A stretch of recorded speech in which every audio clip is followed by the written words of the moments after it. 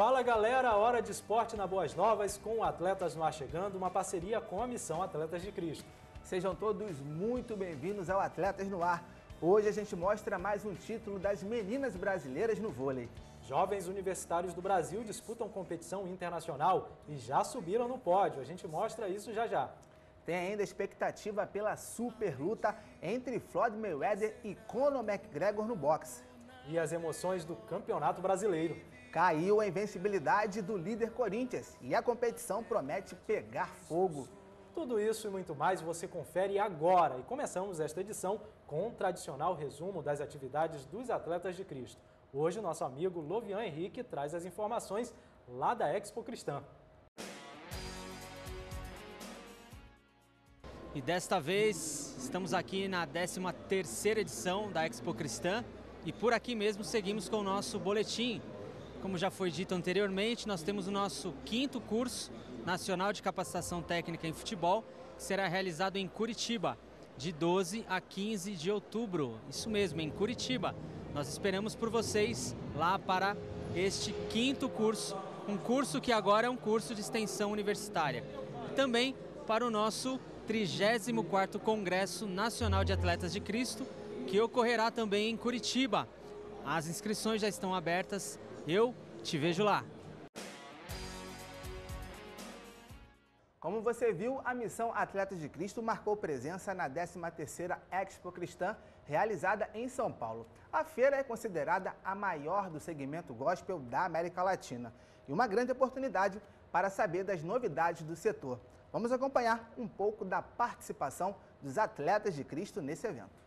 O estande dos Atletas de Cristo bombou na 13ª Expo Cristã. O público pôde conhecer melhor o objetivo do projeto e interagir com os integrantes. A missão também promoveu palestras no evento. O ex-piloto de Fórmula 1 e um dos percussores dos atletas, Alex Dias Ribeiro, realizou o workshop Força para Vencer, baseado em sua obra literária, abordando experiências do projeto. É muito bom a gente saber que é possível, que Deus está no controle, que Deus quer mudar esse jogo e que a mudança vai passar inevitavelmente por nós. Agora a gente precisa mudar o approach, porque nossa igreja é uma das que mais cresce no mundo, mas não está tendo até aqui uma influência positiva na nossa sociedade ao ponto de virar o jogo. O nosso presidente Marcos Grava e o coordenador de grupos locais, Lovian Henrique, também marcaram presença. Eles contaram um pouco de suas experiências com a capelania esportiva. É, eu tive o privilégio de alcançar e discipular um atleta guia. Eu não vejo exemplo melhor do que um servo de Deus, um guia. Para que vocês tenham uma ideia, ah, nessas Paralimpíadas do Rio de Janeiro foi a primeira onde os guias receberam medalhas. Então, para vocês terem uma ideia de como uh, um exemplo de um atleta guia, um exemplo de um servo. Eles tiveram, foram campeões, uh, medalha de ouro no revezamento 4 por 100 e a medalha de bronze nos 200. A seleção brasileira feminina de vôlei segue sem adversários na América do Sul. Neste final de semana, as meninas conquistaram o vigésimo título do Sul-Americano, sendo o 12º consecutivo. O Brasil venceu a Colômbia por 3 sets a 0, com parciais 25-23, 25-19 e 25-17. As colombianas chegaram a complicar o primeiro set, obrigando o técnico José Roberto Guimarães a chamar a atenção das meninas em um tempo técnico. A reação aconteceu e o Brasil reequilibrou o jogo até assumir a liderança na reta final. No segundo set, as brazucas conseguiram ser mais dominantes. Rapidamente, o time abriu 5 a 0 e deixou em situação complicada a Colômbia. Depois disso, bastou administrar o marcador. As adversárias voltaram mais atentas no começo do terceiro set. No entanto, não demorou para o Brasil abrir sua maior vantagem e garantir a vitória e o título, mais um para o currículo das meninas. O resultado trouxe a classificação da equipe para o Campeonato Mundial do Japão no ano que vem. A seleção feminina brazuca terminou a competição invicto, com cinco vitórias, sem perder um set sequer. O judô e a natação garantiram ao Brasil suas primeiras medalhas na Universiade de Verão 2017, que está sendo disputada em Taipei, capital de Taiwan. Nos tatames, ontem o judoca Vinícius Panini, da categoria até 81 quilos, faturou o bronze. E a atleta Bárbara Timo, na categoria até 70 quilos, conquistou o ouro. Na piscina, Henrique Martins fez o tempo de 23 segundos e 54 centésimos e ficou com a medalha de bronze nos 50 metros borboleta. A Universidade de Verão 2017 começou no dia 19 e segue até 30 de agosto. São 21 modalidades, incluindo atletismo, basquete, saltos ornamentais, esgrima, futebol, entre outras. As competições reúnem cerca de 10 mil alunos atletas de mais de 170 países. A delegação brasileira conta com 300 membros, entre atletas, comissão técnica e oficiais. Nós vamos fazer uma pausa e na volta tem esporte paralímpico com as conquistas brasileiras na Copa América de Bocha. E também a expectativa pela super luta entre Floyd Mayweather e Conor McGregor no boxe. Não sai daí porque o intervalo é rapidinho.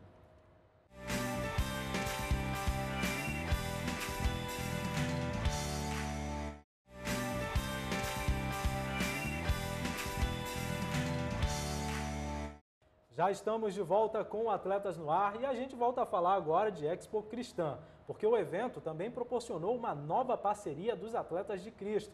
Mas nós vamos deixar Marcos Grava contar que novidade é essa. Fala, Marcão!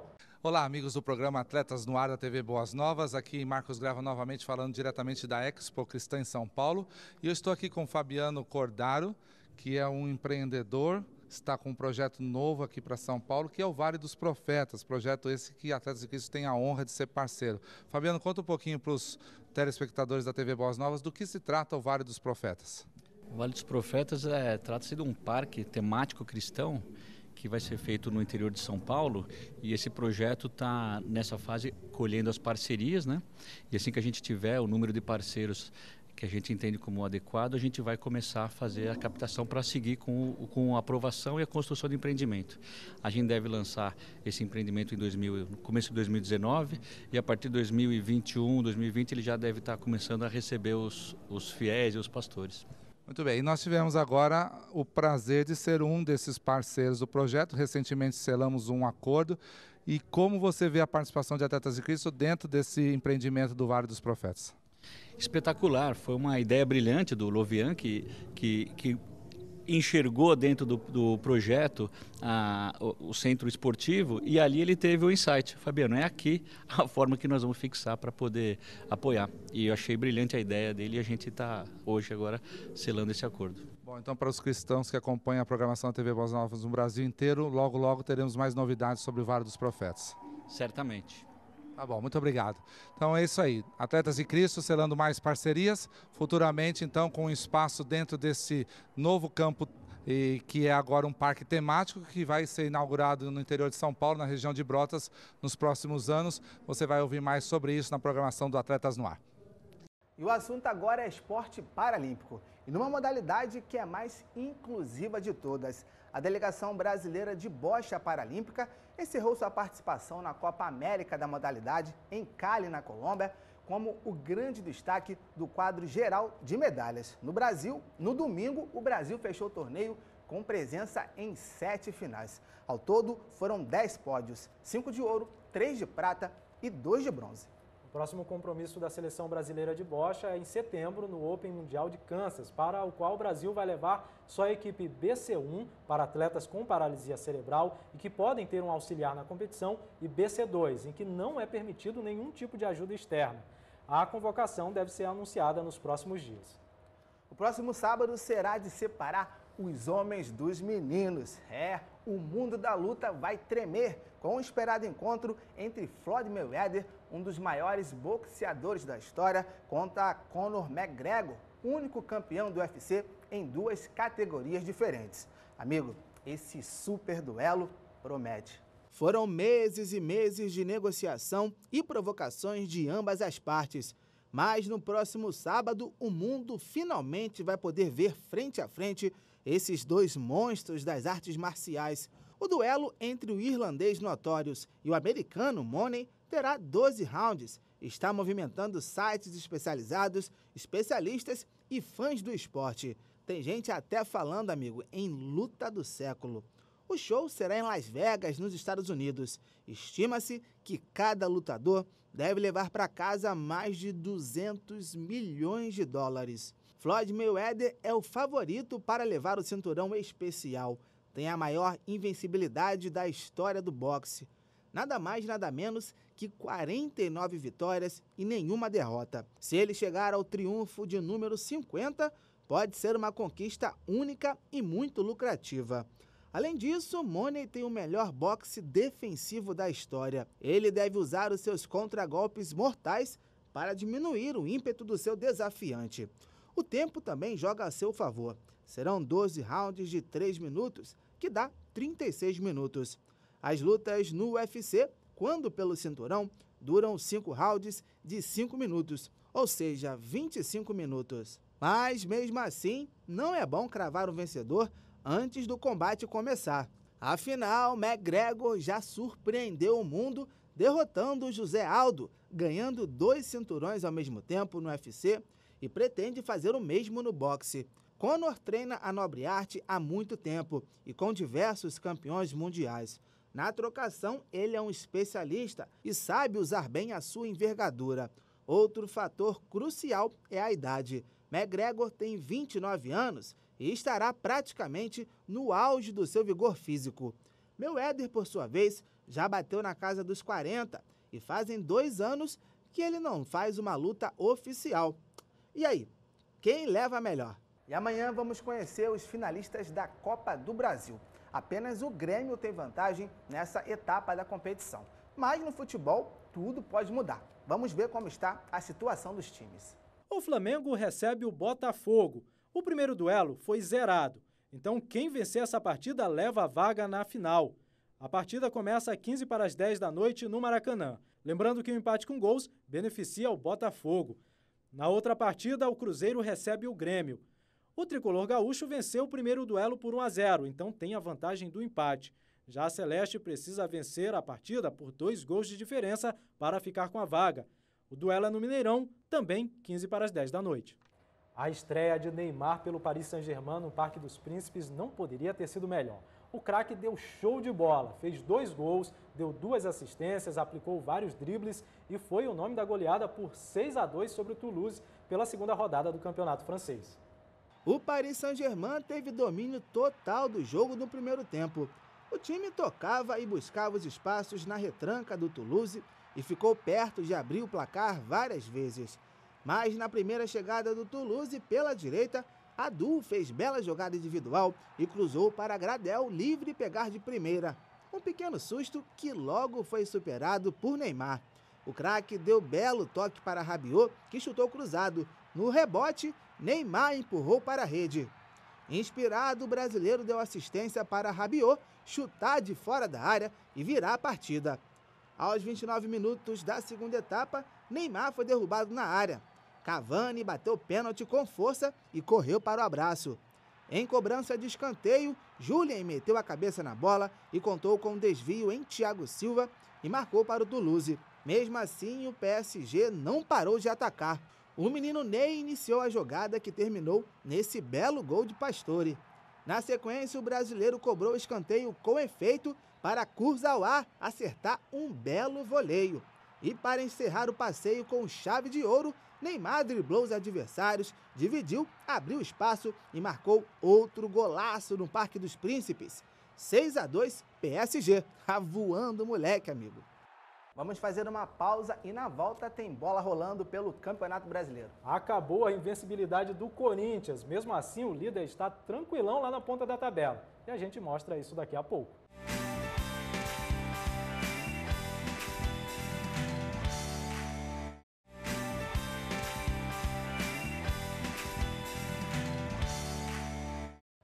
Estamos de volta com Atletas no Ar e o assunto agora, meu amigo, é Campeonato Brasileiro, que teve nesse final de semana uma grande surpresa, hein, Herbert? É isso aí, Thiago. A gente acreditava que uma hora a invencibilidade do Corinthians no campeonato ia terminar. mas não desse jeito, né? Para um time que luta contra o rebaixamento em pleno Itaquerão lotado. É, amigo, o fato é que o Vitória foi a São Paulo e conseguiu um feito inédito nesta edição. No sábado, abrindo a 21ª rodada. O dia também teve o Flamengo voltando a vencer depois de quatro jogos em noite inspirada do jovem Vinícius Júnior. O Corinthians, enfim, voltou a conhecer o sabor amargo de uma derrota. O líder do Brasileirão foi batido pelo Vitória, time baiano que está na luta para fugir do rebaixamento. A proposta do rubro-negro era simples: se fechar lá atrás e partir no contra-ataque. Numa dessas, Neilton foi para cima da marcação e tocou para Trellis. O colombiano chutou, a bola desviou em Arana e morreu no fundo das redes. 1 a 0. Na Ilha do Urubu, o Flamengo recebeu Lanterninha Atlético Goianiense. Com o time bastante mudado por Reinaldo Rueda, o rubro-negro demorou para se acertar. Gol só na segunda etapa. Márcio Araújo deu bonito passe em profundidade para Vinícius Júnior, que bateu de canhota e abriu o placar. Lucas Paquetá deixou Vinícius Júnior na cara com o goleiro e o garoto de 45 milhões de euros tirou de Felipe Garcia e tocou para o gol vazio. 2 a 0 Fla. E se o Timão perdeu no sábado, pelo menos não se viu ameaçado por nenhum outro adversário. O Grêmio, mais uma vez, desperdiçou a chance de encostar no líder. O Grêmio entrou na Arena da Baixada com formação reserva e disposto a reduzir a distância para o Corinthians. Mas o Atlético Paranaense está em ascensão no campeonato e queria ficar mais próximo do G4. Porém, a manhã fria de domingo parece que afetou os jogadores. Em 90 minutos de pouco futebol, o empate em 0 a 0 frustrou os planos de ambas as equipes. Na ressacada, duelo de times desesperados para escapar do rebaixamento. Havaí e São Paulo tentaram, mas continuam empacados entre os últimos da competição. O empate não ajudou em nada os clubes. Edmar derrubou Williams na área e o juizão marcou pênalti. Júnior Dutra cobrou com tranquilidade e abriu o placar. Hernanes bateu escanteio e Pedro Castro desviou com a mão. Outra penalidade. O próprio Hernanes converteu a cobrança. 1 a 1. A situação também não está nada boa para o Palmeiras. Contra a Chapecoense em casa, o Verdão Paulista foi batido pelo Verdão Catarinense. Em cobrança de falta, Reinaldo levantou na área e o zagueiro Fabrício Bruno apareceu sozinho para marcar. Já nos acréscimos, Wellington Paulista deu lindo passe de cobertura e Túlio de Melo só teve o trabalho de empurrar para as redes. 2 a 0 Chape. Com força máxima em campo, mesmo em semana decisiva na Copa do Brasil, o Cruzeiro derrotou o esporte no Mineirão e entrou no G6. Ezequiel foi até a linha de fundo e colocou a bola na cabeça de Sassá, que guardou 1 a 0. Depois de bate-rebate na área, Raniel aproveitou o vacilo da defesa do Leão e encheu o pé. 2 a 0 Raposa. O Bahia goleou o Vasco na Fonte Nova. Regis cobrou escanteio e Thiago subiu mais que a zaga vascaína para marcar. Contra-ataque tricolor. Mendonça ligou o turbo, perdeu a bola, recuperou de novo, driblou o Martin Silva e fez o segundo dos baianos. O colombiano estava mesmo impossível. Depois de chute de Regis, o goleiro deu rebote e Mendonça guardou de novo. 3 a 0 Bahia. A Ponte Preta recebeu o mistão do Botafogo no Moisés Lucarelli. Danilo cobrou escanteio e Emerson Sheik dominou sozinho e largou o pé. Brenner cobrou pênalti com categoria e empatou o jogo. Sheik pegou bola afastada de primeira e marcou um golaço. 2 a 1 Macaca. Em jogo disputado sob forte chuva e gramado encharcado, Coritiba e Santos ficaram zerados no Couto Pereira. Mais chances não faltaram para o placar sair do zero. Foram 19 finalizações do time alvinegro e 11 da equipe coxa branca, mas ninguém acertou o alvo. Ontem o Fluminense recebeu o Atlético Mineiro no Maracanã, encerrando a rodada, e venceu numa noite dourada. O artilheiro do novo Maracanã estava do outro lado, vestindo a camisa alvinegra do Galo. Mas e daí? Quem tem Henrique Dourado está bem no campo. E não só ele, mas o ataque todo ontem do Flusão estava com vontade e tentou muito, parando quase sempre no goleiro Vitor. Mas eis que aos 37 da primeira etapa, Scarpa cobrou escanteio no segundo pau e Henrique Dourado subiu para fazer seu 25º gol na temporada. 1 a 0. Aí o Galo foi pro abafa e conseguiu empatar no segundo tempo, neste chute seco, rasteiro, no cantinho de Valdívia. Primeiro gol dele no time. Belo lance do Atlético, 1 a 1. O jogo ficou aberto, com as duas equipes buscando os três pontos. Mas aí brilhou de novo quem? Aos 42 minutos, Scarpa levantou na área e o ceifador cabeceou com crueldade, longe do alcance de Vitor. 2 a 1 Flusão e Dourado, artilheiro do campeonato isolado, com 12 gols. Bom, já temos quase 21 rodadas na conta, porque ainda falta somar o duelo entre Chapecoense e Corinthians, que vai ser disputado amanhã. Enquanto isso, vamos ver como está a classificação na tabela até aqui. O Corinthians tem um jogo a menos. Mesmo assim, manteve sete pontos de vantagem para o vice-líder Grêmio. O Corinthians tem 47, o Grêmio 40. Na terceira posição está o Santos com 37 pontos. O Palmeiras é o quarto com 33 o Flamengo quinto com 32 e o Cruzeiro fecha o G6 com 30 pontos. É a mesma pontuação do Atlético Paranaense e do Fluminense que venceu ontem. O esporte é o nono colocado com 29 pontos, um a mais que o décimo Botafogo.